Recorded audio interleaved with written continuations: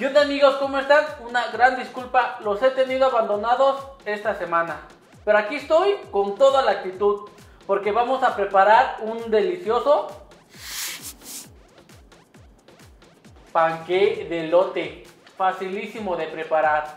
Y ahora sí, El panadero con el pan. manos a la obra.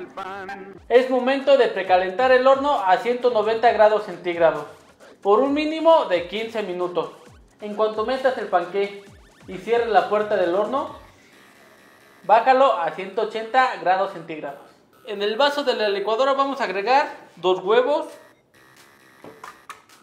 90 gramos de mantequilla derretida,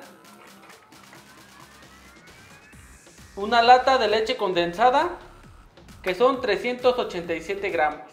Una cucharadita de polvo para hornear, también conocido como royal.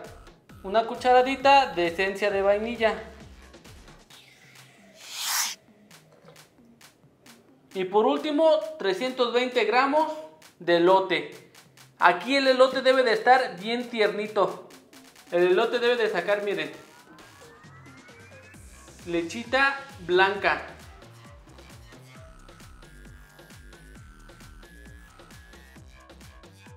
Para saber que un elote está tierno, los pelitos que tiene están todavía en la punta. Y vamos a moler.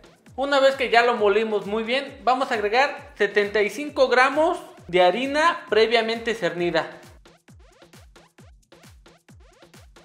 La harina es de trigo. Vamos a incorporarla muy bien, pero vamos a ir haciendo poco a poco esta mezcla. En un molde previamente engrasado con mantequilla y enharinado, vamos a agregar la mezcla, que no debe tener nada de grumo. La consistencia que tiene es por el elote y lo voy a llenar tres cuartas partes del molde. Y vámonos al horno. Para un delicioso glaseado ocupamos media taza de azúcar glass, que es azúcar en polvo, 8 gotas de limón y una cucharada de agua. Vamos a incorporarlo muy bien y debe de quedar espeso, no debe quedar muy líquido. Si ocupa poquita más agua, se la agregamos. Voy a agregar un poquito más de agua. Y vamos a incorporar. Yo lo voy a dejar con esta consistencia. Nada más agregué dos cucharadas de agua y unas gotas de limón. Bueno amigos, aquí está listo nuestro panqué. Como me sobró poquita mezcla, yo los agregué en este molde de silicón. Estos moldes no ocupan ni mantequilla ni harina. Como es de silicón, salen fácilmente. Y huele bien sabroso. Cuando estás trabajando con harina, ¿qué vas a hacer? Esto mira.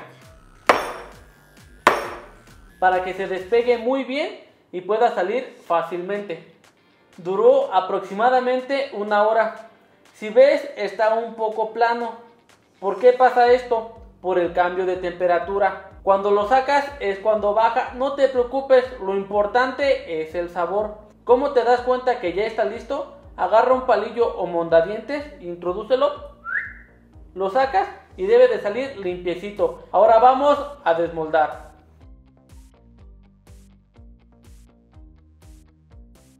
Si ven, está bien doradito de los lados, pero eso ya depende de cada quien. No lo puedes sacar que quede blanco porque quedaría crudo. Ahora voy a agregar un poco de glaseado. Si no te gusta, sin problema, no le agregues y agrégale rompope.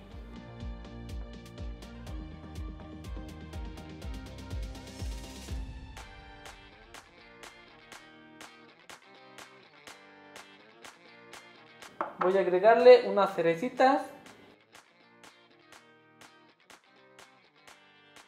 Y vamos a ponerle un toque de menta.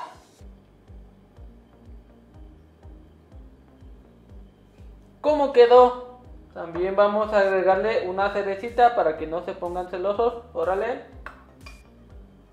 ¿Eh? Y vamos a probar. Amigos, ustedes deciden si quieren un panqué glaseado o un panqué desglaciado.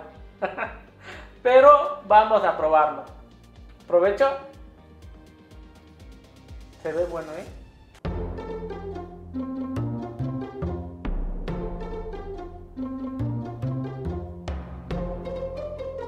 Tiene la textura de flan, de pastel. No, hombre, está buenísimo. En la parte de arriba, dulcecito. Ay, papá.